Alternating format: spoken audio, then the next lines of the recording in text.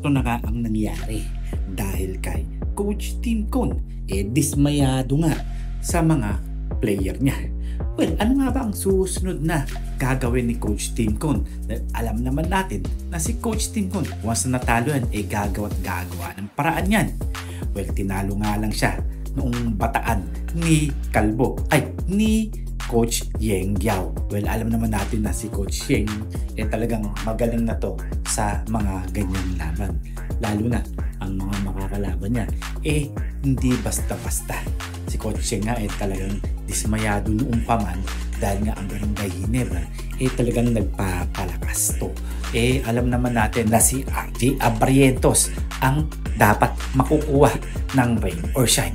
Pero nagkaroon nga at nabaliktad nga ang usapan dahil nakuha nga ng Barangay Ginebra etong si Avarientos. Well, mga parkoy, hintayin natin dahil alam naman natin na nag-a-adjust pa to at talagang inaalam pa nila ang mga laro nila sa isa't isa dahil alam naman natin na maraming nabago sa Barangay Ginebra.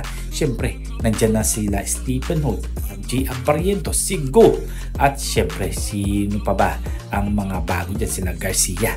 Well, maraming ang mga pagbabago sa Barangay Ginebra kaya hindi basta-basta magja ang mga laro nila. Well, gustong gusto na nga bumawi nito ni RJ Ampariento sa susunod na laban dahil nga unang laban nila eh talagang malas na sa malas pa.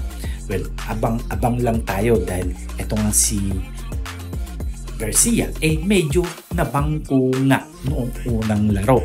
Well, alam naman natin, normal lang yan. Lalo na once na napasok pa sa Barangay Ginebra dahil uh, alam naman pa nga ni Coach Tim Cole kung hanggang saan ba ang kaya mong ibigay at ilalabas ang laro mo. Lalo na, etong si Coach Tim eh talagang matikuloso to pagdating sa laro eh talagang bawat detalye eh aalamin niya sa isang player well Hirap nga lumaban ng Barangay Hinebra sa rain or shine pero sigurado ko eh babawit babawi nga itong Barangay Hinebra sa susunod. Kayo mga parkoy, may pagsisisi kaya ang Barangay Hinebra na pinakawalan nila si Sistan pati na rin si Pringle. Well kung ako ang tatanungin eh medyo wala naman dahil nakakuha nga sila ng dalawang bata at mga panibagong pick. Siguro hanggang dito na lang tayo at huwag natin kakalimutan na mag-subscribe, mag-comment, like, and share and please click the bell para ma-receive ninyo lahat ng aking notifications. See you for my next video. See you for my next vlog. God bless.